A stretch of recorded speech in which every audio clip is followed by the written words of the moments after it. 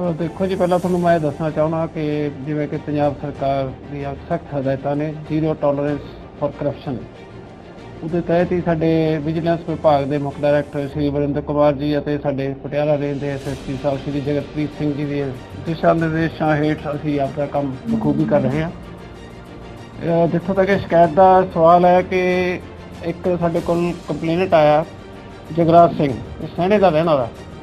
ਜਗਰਾਜ ਸਿੰਘ ਵੀ ਪਿਛਲੇ ਮਹੀਨੇ 23 ਜਾਂ 24 ਤਰੀਕ ਨੂੰ ਕੋਈ ਲੜਾਈ, ਝਗੜਾ ਹੋਇਆ ਕਿਸੇ ਬੰਦੇ ਨਾਲ ਤੇ ਇਹਦੇ ਜਗਰਾਜ ਦੇ ਸੱਟਾ ਮਾਰੀਆਂ ਉਹਨਾਂ ਨੇ।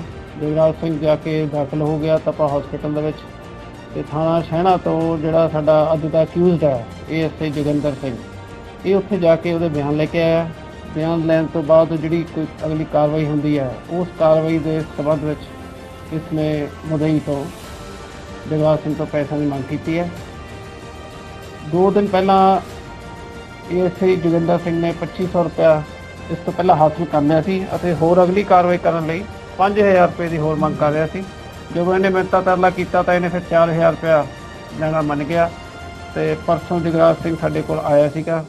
ਅਸੀਂ ਉਹਦੀ ਕੰਪਲੇਂਟ ਲੈ ਕੇ ਵੈਰੀਫਾਈ ਕਰਕੇ ਤੇ ਕੱਲ ਅਸੀਂ ਜੋਗਿੰਦਰ ਸਿੰਘ ਏਐਸਆਈ ਨੂੰ ਰੰਗੇ ਹੱਥੀ ਥਾਣਾ ਸਹਿਣਾ ਦੇ ਨਾਲ ਉਹਦਾ ਜਿਹੜਾ ਕੁਆਟਰ ਸੀਗਾ, ਉੱਥੋਂ ਗ੍ਰਿਫਤਾਰ ਕੀਤਾ। ਪੰਜਾਬੀ ਏਕਤਾ ਨਾਲ ਦੇਖ ਰਹੇ ਸਾਰੇ ਦਰਸ਼ਕਾਂ ਨੂੰ ਪਿਆਰ ਭਰੀ ਸਤਿ ਸ਼੍ਰੀ ਅਕਾਲ। ਹੁਣ ਤੱਕ ਦੀ ਵੱਡੀ ਖਬਰ, ਬਿਜ਼ਨਸ ਬਿਊਰੋ ਪੰਜਾਬ ਨੇ ਵੀਰਵਾਰ ਨੂੰ ਬਰਨਾਲਾ ਜ਼ਿਲ੍ਹੇ ਦੇ ਥਾਣਾ ਸੈਣ ਵਿਖੇ ਤਾਇਨਾਤ ਸਬ ਇੰਸਪੈਕਟਰ ਜੋਗਿੰਦਰ ਸਿੰਘ ਨੂੰ ਰਾਜ ਵਿੱਚੋਂ ਭ੍ਰਿਸ਼ਟਾਚਾਰ ਦੇ ਖਾਤਮੇ ਲਈ ਵਿੰਡੀ ਮੁਹਿੰਮ ਦੌਰਾਨ 4000 ਰੁਪਏ ਰਿਸ਼ਵਤ ਲੈਂਦਿਆਂ ਰੰਗੇ ਹੱਥੀ ਕਾਬੂ ਕੀਤਾ ਹੈ। ਵਿਜੀਲੈਂਸ ਬਿਊਰੋ ਦੇ ਬੁਲਾਰੇ ਨੇ ਦੱਸਿਆ ਕਿ ਸਬ ਇੰਸਪੈਕਟਰ ਪਹਿਲਾਂ ਹੀ 2500 ਰੁਪਏ ਲੈ ਚੁੱਕਾ ਹੈ ਤੇ ਉਸ ਦੀ ਸ਼ਿਕਾਇਤ ਤੇ ਕਾਰਵਾਈ ਕਰਨ ਲਈ 4000 ਰੁਪਏ ਹੋਰ ਰਿਸ਼ਵਤ ਮੰਗ ਰਿਹਾ ਹੈ। ਵਿਜੀਲੈਂਸ ਬਿਊਰੋ ਦੀ ਟੀਮ ਨੇ ਜਾਲ ਵਿਛਾਇਆ ਤੇ ਸਬ ਇੰਸਪੈਕਟਰ ਨੂੰ ਦੋ ਸਰਕਾਰੀ ਗਵਾਹਾਂ ਦੀ ਹਾਜ਼ਰੀ ਵਿੱਚ ਸ਼ਿਕਾਇਤਕਰਤਾ ਤੋਂ 4000 ਰੁਪਏ ਦੀ ਰਿਸ਼ਵਤ ਲੈਂਦਿਆਂ ਰੰਗੇ ਹੱਥੀ ਕਾਬੂ ਕਰ ਲਿਆ। ਇਸ ਸੰਬੰਧੀ ਦੋਸ਼ੀ ਪੁਲਿਸ ਅਧਿਕਾਰੀ ਦੇ ਖਿਲਾਫ ਵਿਜੀਲੈਂਸ ਥਾਣਾ ਪਟਿਆਲਾ ਵਿਖੇ ਭ੍ਰਿਸ਼ਟਾਚਾਰ ਰੋਕੂ ਐਕਟ ਤਹਿਤ ਮਾਮਲਾ ਦਰਜ ਕਰਕੇ ਅਗਲੇਰੀ ਕਾਰਵਾਈ ਸ਼ੁਰੂ ਕਰ ਦਿੱਤੀ ਹੈ। ਸੋ ਇਸ ਨੂੰ ਤੱਕ ਦੀ ਵੱਡੀ ਖਬਰ ਹੋਰ ਖਬਰਾਂ ਦੇਖਣ ਲਈ ਸਾਡੇ ਚੈਨਲ ਨਾਲ ਬਣੇ ਰਹੋ। ਧੰਨਵਾਦ।